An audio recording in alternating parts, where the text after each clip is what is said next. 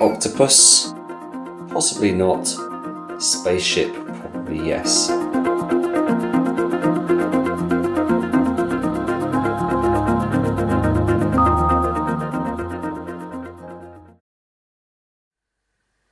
This one is not one that I've really seen before. It's quite a simple PIR. It's from probably the early 90s.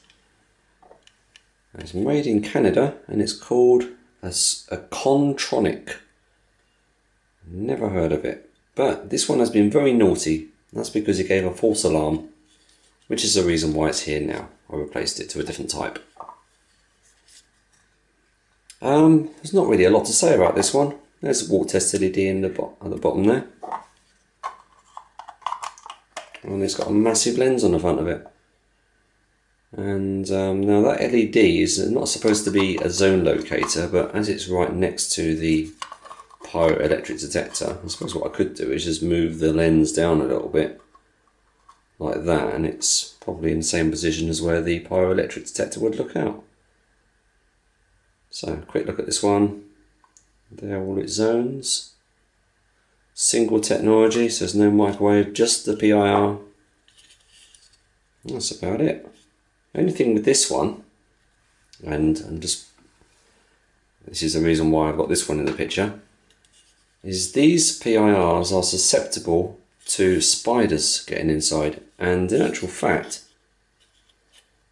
the cable entry hole has some silicone around it. So this was probably, um, well, I know for almost without a doubt that that was used to try and seal the detector so spiders wouldn't get inside. Because if a spider were to get inside this detector, and they're normally like hiding behind these, when these are in the corner of the room, spiders come up behind here, make a web around the front and hide around the back.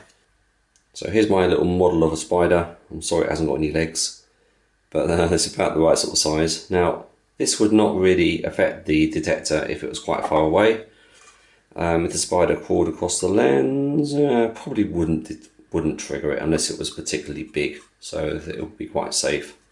But if the spider got inside and crawled right up to the lens here, then I'd probably scare the hell out of the PIR. I'd probably go, "Whoa, what the hell's that? It's massive," and that would trigger it. So these ones, um, quite early technology, they didn't consider spiders. Nowadays, this is a newer type. Let's say you can you still get them? It's an Optex CX50. You can probably still get this one actually. But these ones, um, the um, lens part is sealed. We can open it up, but a spider cannot get inside there. And that's the way most modern detectors are uh, manufactured or designed. That's so if a spider did get inside, it would only crawl around the connection blocks. That's not going to trigger it. And they can't get inside there to appear as a monster in front of the pyroelectric detector. Now, this takes me onto this one actually. Let's continue with this one. I've got this one here. I know it's quite a modern detector, but Optex do a unique thing with their lenses. Now, remember you can get two different types of lenses. You can get the uh, multi-zone, which is what this one is. Looks all the way across the room. And you've got the curtain PIR, which is what this one is. Remember we had a look at that lens and it just looks along one area. It's a bit like hanging a curtain out across a room. It will only ever detect along one bit like that. So if you walk through the curtain, that's what is going to detect you. And the other type of lens is the long range lens, which is what this one is. There is your long range mirror. One beam and this one goes about 30 or 40 meters. Quite a long range this one. That just projects along one area. So there's your three different types of lenses. Now this one has a multi-zone and a long range built into the same lens. It's a thing that Optex seem to do. So if we have a look at this lens, there's your multi-zone at the top. And if you were to take this off and then turn it around, then the detector now acts as a long range. And there's your long range lens there. So that's quite a good idea. And what they've got you to do is, if you are going to make this a long range, then you've got to snap that tab out there. There we go, break for long range.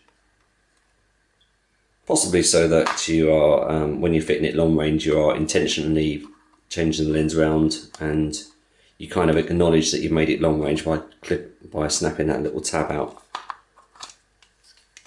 So let's connect this one up to the battery and see what it does. And if my predictions are correct, probably the red light's going to come on. Yeah, well, kind of right, kind of wrong. Now that is the typical Optex warm-up um, pulsing LED. So that detector is not in operation yet, it's warming up. It's not really warming up, it's just stabilising. You know, you're not going to get any heat out of it. Okay, it's in operation. So let's test out the multi-zone capabilities. That's the type of um, lens we've got on the top part now. So I'm now beside the PIR and if I bring my hand up it's going to detect me at this angle. So that is the 90 degree corner mounting uh, lens that's currently selected and that will detect a standard room. Just looking at the instruction manual for this detector.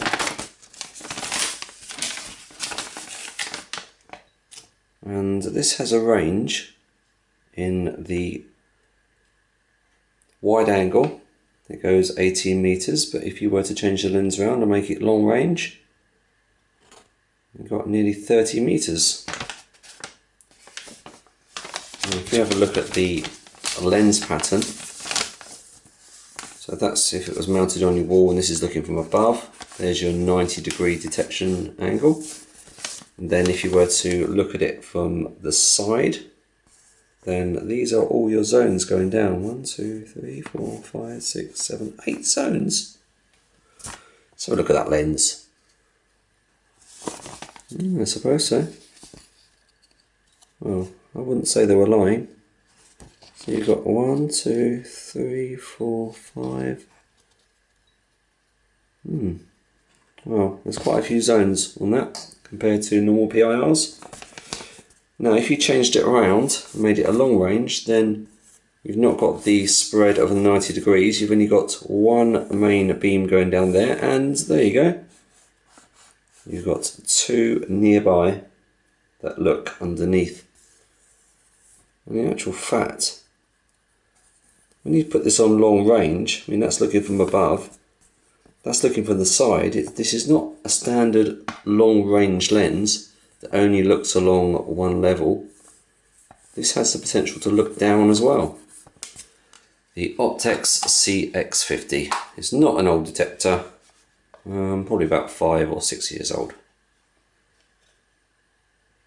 Now there is a version of this, which I think is a dual technology detector, which has obviously got the green and the yellow LEDs on it and I think that's what they're for. So they just use the same lid but only use the middle bit for the alarm for the PIR. On to another Optex detector from the 90s. Uh, it's an Optex FX55. There's not really a lot to say about this one. It's a long range lens can't quite see it. No, this is quite dirty, but I've not cleaned it up because I think it gives the appearance of being old when it's like that. Hope it's not blood. On this one, you have a couple of mirrors. A mirror there, and there's one inside as well. And what they do is they help to reflect the detection pattern downwards. So probably this part of the lens, probably a couple of segments here, and they detect underneath its sector, whereas these look directly ahead. So typical Optex power up pattern, that LED is going to blink while the det- detector stabilises, being powered up for the first time.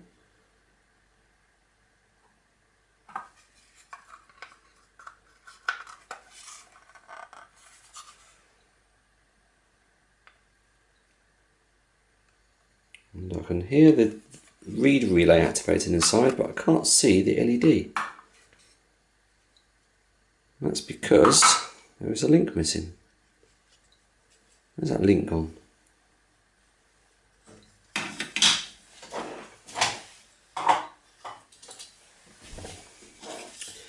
Yes, I remembered I borrowed that for the previous detector.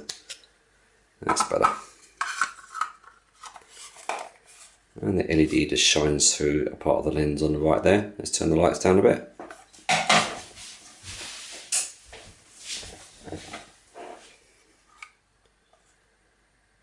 Hey, quite neat. So that's a long range detector. I'll probably say PIR that size with that size lens, about 20, 25 meters maybe. So if I move my hand across the front of it, there we go. This one is also susceptible to spiders, so good idea when you put these ones up is to seal all the holes that spiders can't get inside. Because if it approaches the pyroelectric detector, this is going to go, oh my god, that's massive, and activate and give you a false alarm.